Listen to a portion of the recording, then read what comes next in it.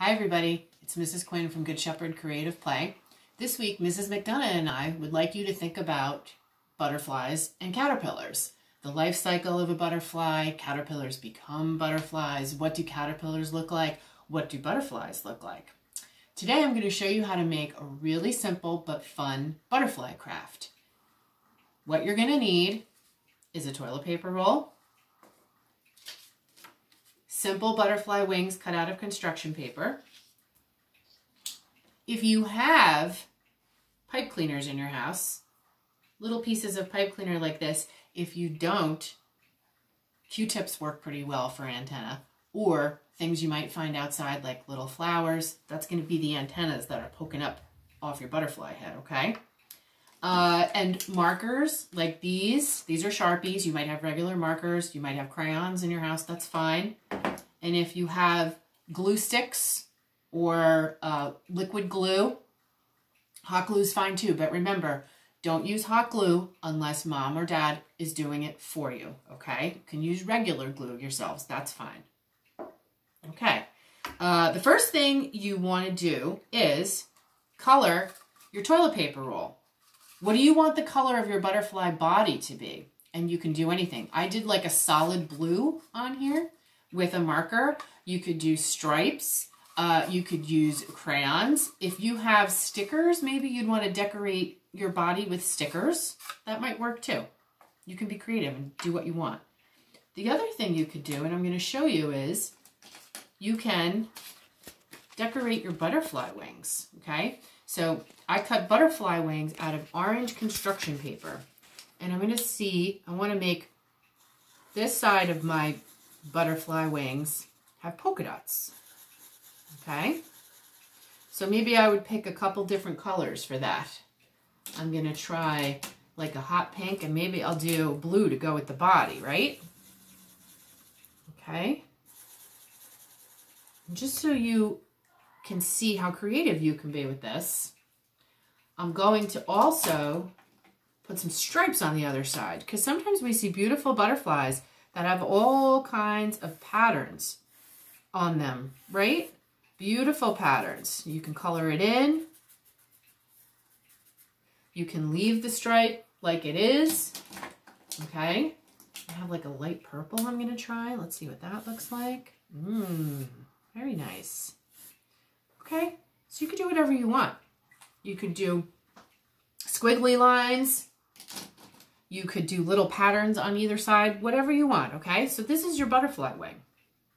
After you've decorated your butterfly wings and your butterfly body, I want you to glue the butterfly body to the wings. Very simple. You just put glue right in the middle there and lay your butterfly body down right in the middle. Okay? And press down. As you can see, I put my fingers inside the toilet paper tube and I'm pressing down on either side. Okay? And when I pick it up, I've made a beautiful butterfly. Is it done yet? No. Now, Mrs. Quinn has these in her house, okay? You guys might not have these in your house, but we use these at school all the time. Our googly eyes, okay? I'm going to use googly eyes on my butterfly. I'm just going to see if I can at least just stick one on to show you. If you have these in your house or you have googly eye stickers in your house, some of you might have that. Feel free to use those. Okay, then I'm going to put my googly eyes on my butterfly like that. That was my loud grandfather clock. Did you guys just hear that? Woo, that was loud. okay. Uh-oh. That eyeball's not sticking on too well, huh? Let's see. Let's see if I can press it on really good. Okay. Now, so my butterfly has eyeballs. That's great. What else does he need? How about a mouth? How about a smiley face? How cute would that be? Okay, so I'm going to use my markers or my crayons, whatever you're using, and I'm just going to give him a smiley face. So many of you know how to make great smiley faces on things. I've seen you do it so many times. So you can give him a cute, cute smiley face, okay? Very nice. Now, like I said, I have pipe cleaners. And how I'm going to use the pipe cleaners is for some antennas. I'm going to use tape to attach my antenna to the inside of my toilet paper tube. If you have something else, like a Q-tip or like a flower from outside, okay, you can do the same thing. You can just use very, very simple tape. Glue would be a little tough because you'd have to get inside there. So I think tape might be a little bit easier.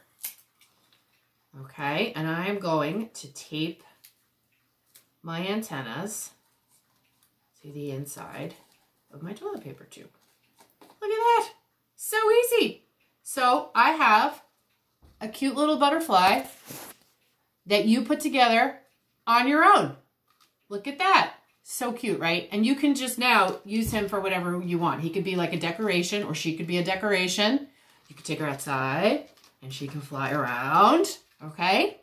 So see how you do. And if you have fun with this, see if you can make as many as you can.